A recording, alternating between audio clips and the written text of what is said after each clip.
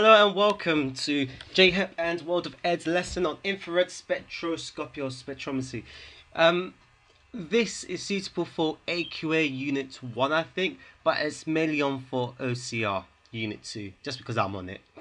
So, um, the first thing you just need to know is that all organic compounds absorb infrared radiation. Organic compounds, as you may remember, have carbon bonds and hydrogen. Okay, usually they have carbon hydrogen, and that's what makes them organic. And usually they, you find them in um, living things and so on and so forth.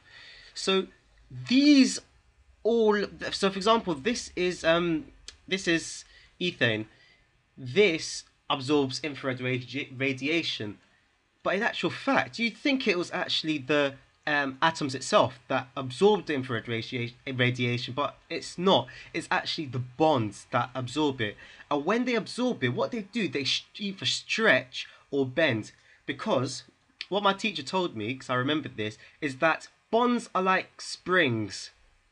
And uh, sorry, that's a poorly drawn out spring, but what happens is that when it's absorbing this radiation, it's just busy pulling apart, you know, binding together like a slinky, and so on and so forth. So that's what um, um, that's what that's how it absorb. Well, that's it absorbing. And the thing is, with different bonds comes different frequencies in which to actually um, stretch it or it's you know absorbing. So, for example, if you think about the glass, the old opera lady with the glass, you know, singing um, at a very high pitched sound, that is a frequency in which breaks you know separates the bonds in which um, uh, shatters the glass. Uh, another thing is um, enthalpy as well, where you can use heat energy to actually um, what's it break bonds as well. But that's enthalpy.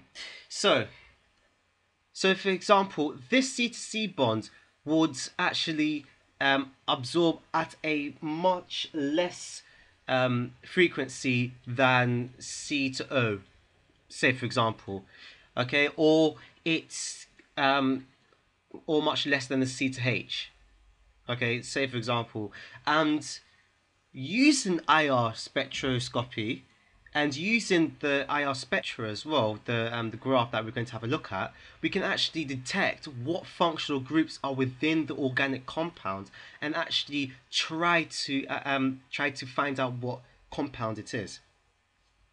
So how does it work? This is a very, very um, interesting but badly drawn picture. And uh, how it works is that the infrared, um, the infrared radiation is split into two beams. Okay, so you know uh, that's that's that was supposed to be a light bulb or something. And what happens? It goes through the mirror. Draw. I shouldn't have done that. Um, it goes through the mirror so one, two, and it passes through a thin air, which is used as a um, as a control, as a yeah, as or reference if you want to call it that. Um, it's used as a control to actually um, refer back to well, for the um, infrared detector to refer back to when it's actually calculating and displaying all this absorption frequencies on the graph. Remember, even when you have lots of experiments, we usually use a control in order for us to actually, um, uh, in order for us to actually compare it to something.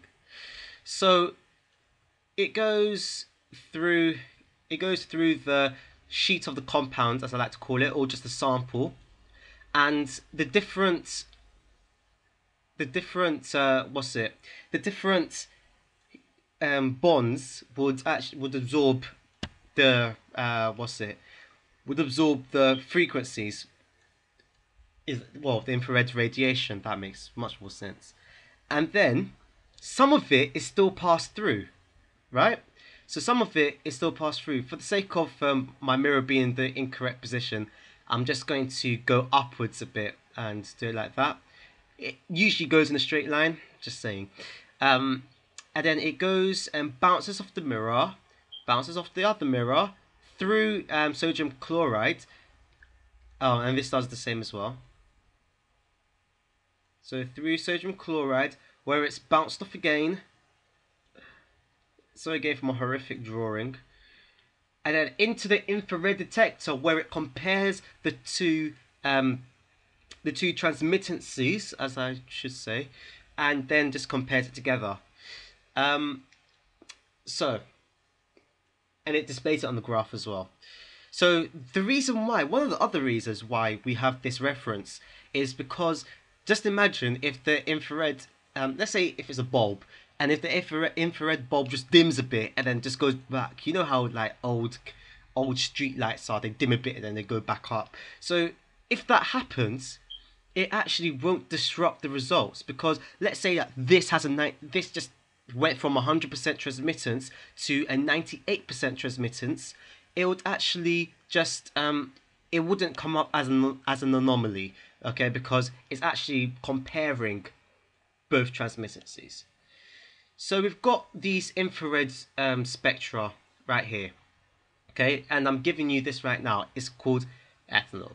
And in your OCR or AQA, I'm not sure about AQA, but in your OCR data book, you've got, um, where is it? You've got this. You've got this, um, these characteristic infrared absorptions in organic molecules. These are basically the frequencies in which the um, the bonds absorb.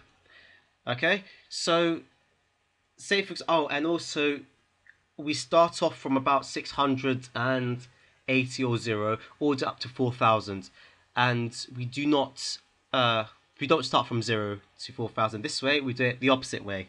Okay, this is because another reason is because we actually sometimes in AS chemistry anyway, we don't really look at anything below 1000 because this is called the fingerprint region. Fingerprint region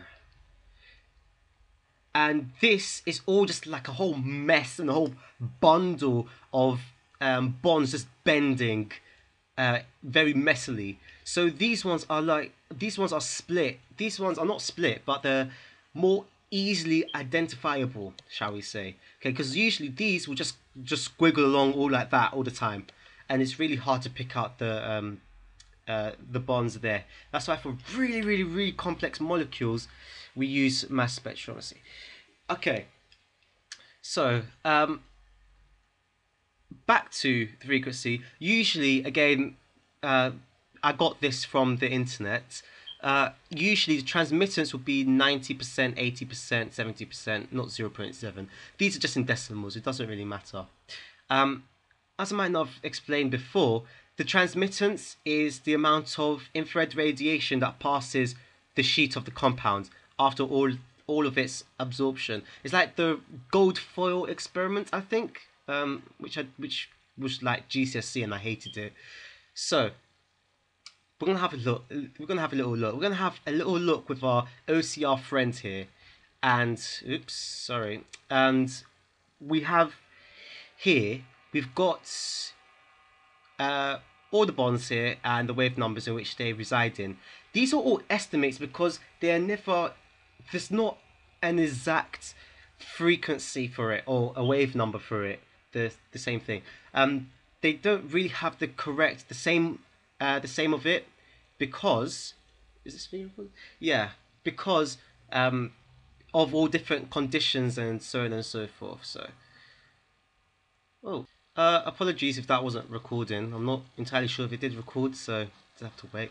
Um, so we're gonna have a look. We're gonna have a little look. Uh, ethanol. We know that ethanol, one of the functional groups in there, is a hydroxyl group. And remember, hydroxyl groups are the OH groups. These are not called the alcohol groups; they're called the hydroxyl groups.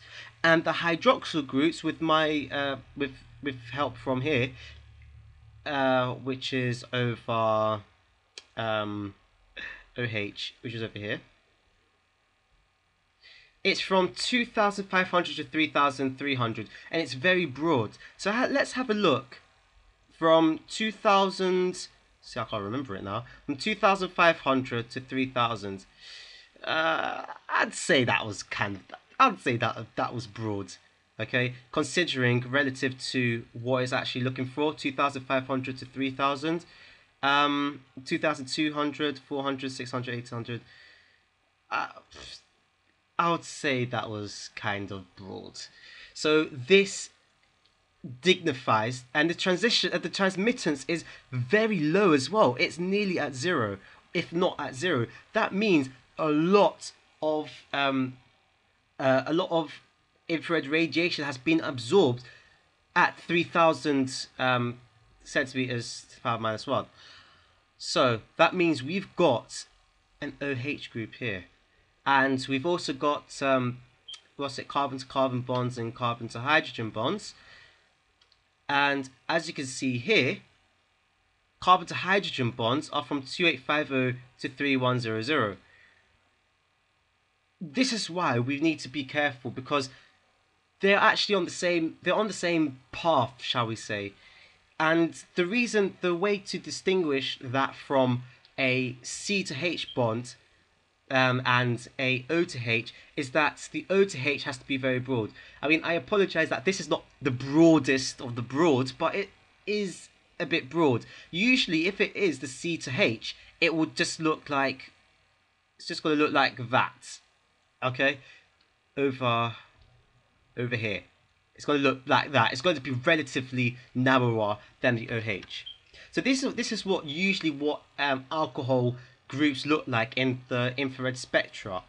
And for carboxylic acids, I still can't say it properly to be honest. Um, with a little friend, um, with, with a little help of our friend, carboxylic acids will always have a C to O and O to H um, bond in it. So let's have a look. C to O is from 1640 to 1750. 1600 40, let's say here. Yeah. This peak over here, this is also called a peak. I might have not mentioned. That's called a peak. Why did I just do that? Um, this is a C to double bond O over here because that's a very big peak. If you think about it, this is how much um, has been absorbed. This this is how much has been transmitted. Um, let's say that I don't again um, yeah, this is this is absorbance, okay, but transmittance will be from 100, 50, and zero. So we are saying, okay, under this absorbance graph, we are saying that 98% of that infrared radiation has been um, from 1640 has been absorbed. Or if it is in transmittance, this is why you need to be careful and read what um, what the graph is called it says that 3% of that, or 2%, I can't remember what percentage I gave off, but 2% of it has actually been transmitted, has been passed on, okay, through the security gates, shall we say. Okay, so this is a C to O bond, double bond, and um, an O to H. Let's have a look for O to H. O to H is 3,200 to 3,550. 3,200, mm, uh, this is this is close. This is close enough. Okay, and this is the O to H bond over here. Okay, because this is still broad. This is still very broad. Or if you have a look, two thousand. Uh, um. Yeah, sorry, yeah, over here, I was looking at the wrong one anyway. It's from 2,500 to 3,300. 2,500 to 3,300, I'll say that that's very broad. So that means this is an O to H group in the carboxylic acids, okay? If it is from 3,200 to 3,550, it would be an alcohol or a phenol. You don't need to know what a phenol is at this current moment. So this is what um, this is a uh, butanoic acid, uh, I think. I can't remember it now. And the last one, uh, for aldehydes and ketones, um, we know that aldehydes usually have a C to O bond in the second or third or um, so ketones we talk about on second or third carbon it's usually not on the outside carbons shall we say so it's a it's a, it's a secondary alcohol or so on and so forth um, all produced through oxidation as well. um, let's not continue. So C to O bonds. Uh, let's have a look here. C double bond O aldehyde ketones. Yeah, 1640. So let's have a look here. 1640. I'd say that's around here. Yeah. So this is the C to O bond, this is another key peak. This is a very big peak. Well, because the transmittance of it again should be percentages. I apologize. Um, the what's it? The the peak of it is actually touches zero. So technically, there are no um, all of the all of the um, infrared radiation from 1640 well at this particular point has been absorbed okay or has not been able to pass through the security gates so and this one is also a key peak but as we said if we have a look at it this is a c to h bond over here and it's from 2850 to 3100 as you can see it's right over there and um, what's it? So that's a C to H bond. So we know that it's got C to H bonds. We know that it always um, organic chemicals always have compounds. Sorry, always have C to H bonds. But it's also got a C to O bond. And since it doesn't have this bit over here, this O to H um, bonds here, we know that it's not a carboxylic acid, but it's an aldehyde or a ketone. Remember, aldehydes would usually have the O here um, and ketones would usually have the O here, okay? Would, would usually have it in the middle. So what is IR spectrometry used for? We can use it to identify functional groups, as we just looked at, but we can use it for forensic science as well. So, for example, you broke into a house and you scratched the paint off the walls. Don't, don't, don't, don't ask. They can check your fingernails and they can see that absorbance frequency um, having paints all these emulsions. I think paints have got carboxylic acids in. I'm not entirely sure. And we can they'll be able to detect the amount of um, uh, what's it carboxylic acids in your fingernails. And the next one is a breathalyzer. I mean, when you drink alcohol, you still got alcohol in your breath because um, since alcohol is in your blood and uh, um, what happens is that the and correct me if I'm wrong, um, what happens is that the breathalyzer just does this um, IR you know, detection and it actually detects the amount of um, uh, is the amount of absorbance the OH group does. And because of that, it'll go beep, beep, beep, beep, and you're over 35, you know, the legal driving limit and so on and so forth, and you get arrested. The last one is analyzing air pollution. We know that um, uh, ozone is O3. We can use that knowledge to detect what um, and we've got other things in there like uh, methane and so on and so forth. But we can use that to find out how much um, pollution there is in the area. And that is it for infrared spectrometry.